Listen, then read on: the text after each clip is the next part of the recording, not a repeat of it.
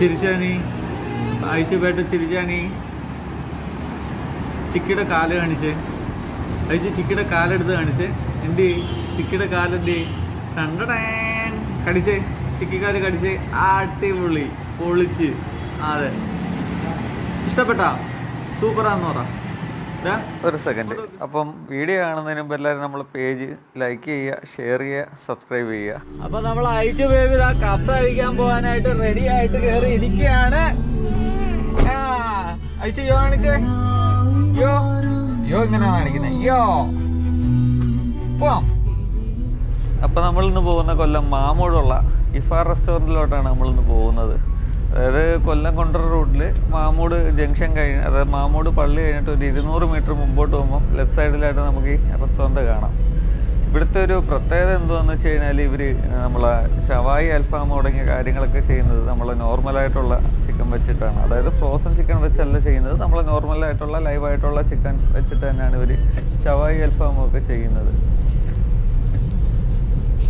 വീട്ടിൽ നിന്ന് നമ്മൾ വീട്ടിൽ നിന്ന് ഇറങ്ങിയപ്പോൾ തന്നെ ഒരുവിധം ലേറ്റായി. ഇനിയിപ്പം കപ്സൊക്കെ കിട്ടുമെന്ന് അറിയത്തില്ല. കഴിഞ്ഞ് കാണാനാ സാധ്യത. എന്തായാലും നമുക്കൊന്ന് പോയി നോക്കാം. എന്തൊക്കെ ഉണ്ടെന്ന് പോയി നോക്കാം.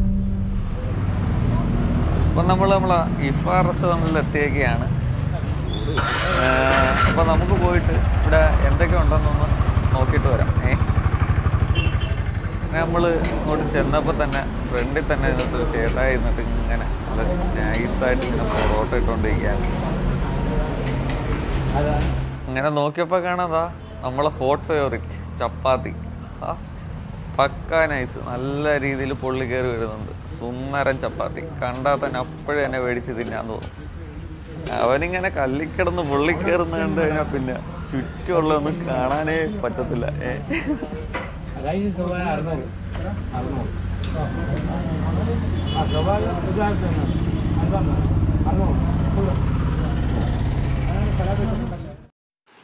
പിന്നെ അതാ നോക്കിയപ്പം ബീഫ് ഫ്രൈ ഉണ്ട്. അപ്പം ബീഫ് ഫ്രൈ പാഴ്സലാണ് പറഞ്ഞേക്കുന്നത് അത് വീട്ടിൽ കൊണ്ട് കഴിക്കാനായിട്ട്. ഇവിടെ നമ്മൾ കഴിക്കാനായിട്ട് ഷവായിയും ചിക്കൻ ഫ്രൈ ഒക്കെ പറഞ്ഞിട്ടുണ്ട്.